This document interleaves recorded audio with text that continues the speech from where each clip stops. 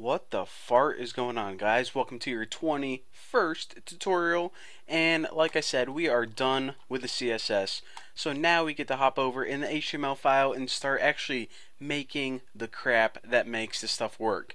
So what we did is we already linked to the CSS file so we pretty much just got to go in the body and code all the HTML tags and let me show you guys how to set it up. Now if you remember the very first thing we need to do is we need to make a div and we need to give it the ID of footer.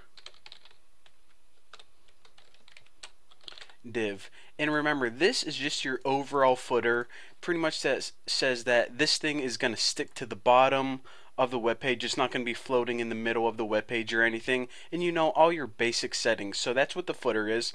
And usually I like to you know embed my tags right here.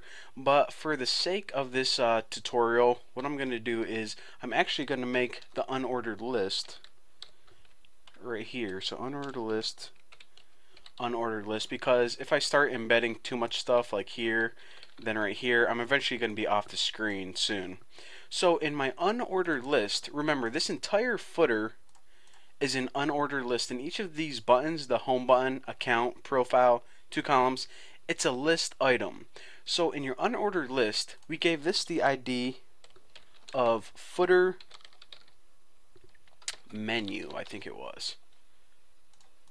Now the footer menu if I could find it uh, la la la where are you? Alright now the footer menu we pretty much just uh, did some housekeeping stuff. And we said okay reset all the margins and padding and width to zero. And also we pretty much set it up so it isn't a regular unordered list because a regular unordered list would be like a grocery list where you have tuna bacon one item right under each other. But in this unordered list of course it's going to be a little bit different. We want our items side by side. So we're basically setting the framework there now that's all you need to do to set it up. Pretty freaking sweet, huh? So now what we can do is we can start creating the individual buttons. Now these are very easy. Like I said, each individual button is a list item. So what I'm going to do is I'm going to show you guys how to create these item by item. Each one is actually a little bit different, especially the first one. So the first button on our toolbar is this home um, icon.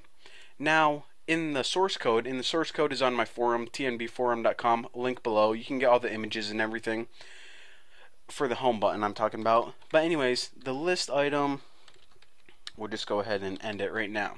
Alright, so the list item basically consists of a class, and we named that class home button.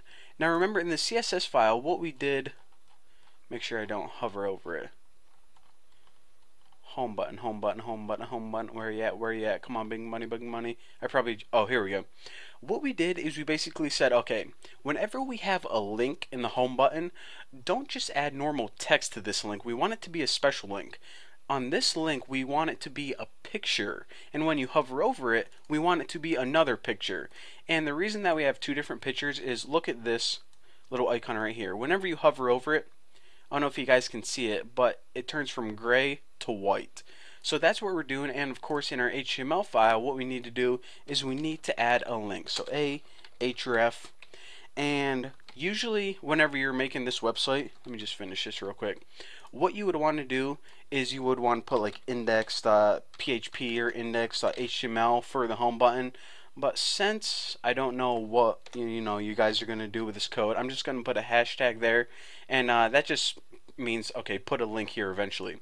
But anyways, whenever you make a button and you give it the class home button, then your icon of a little house is going to show up so everyone knows it's home. And by the way, if you want to use images aside from home, then just go over in your CSS and you only need to change the background right here.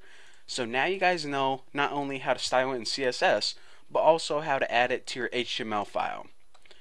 So that button is actually, that's all we have to do for that. How freaking sweet is that? That was like the easiest thing you guys probably have ever done. Now for the next button right here, it's the account button. Now the account button is a little different.